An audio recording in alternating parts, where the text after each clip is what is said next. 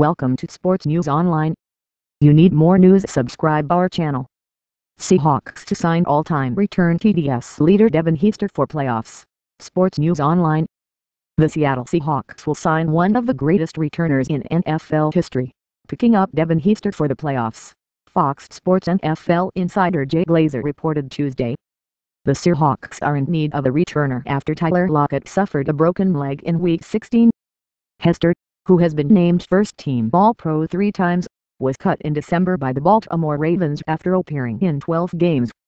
Hester, who is the NFL's all-time leader in return touchdowns, averaged 24.5 yards per kick return and 7.2 per punt return this season. The 34-year-old has 14 career punt returns for touchdowns and 5 kickoffs that he has taken back for scores.